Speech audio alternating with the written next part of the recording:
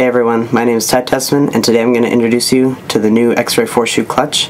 Uh, first thing you're going to notice is that it's it looks similar to other 4-shoe clutches on the market, um, but Xray's decided to build on that design and take it to the next level.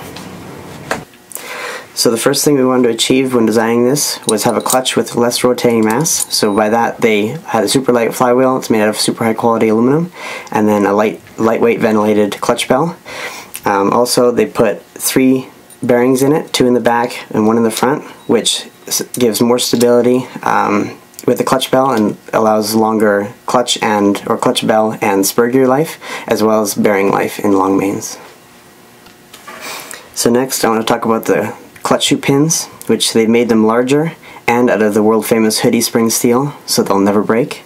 Uh, the clutch nut also is out of Hudy spring steel, and they've designed it so that you can take the flywheel off without taking the clutch shoes off. Next, I want to talk about clutch setup. Uh, we wanted as many options as possible to allow you to fine tune the clutch just how you like it. So, Xray is offering a soft, medium, and hard aluminum shoe with a carbon shoe also, and then three springs, a soft, medium, and hard. So you should be able to fine tune the clutch to whatever you like. So I've been running this clutch for the last little bit, and I can honestly say it's the best clutch I've ever run. Uh, get one for yourself, and you won't be disappointed. Thanks for watching.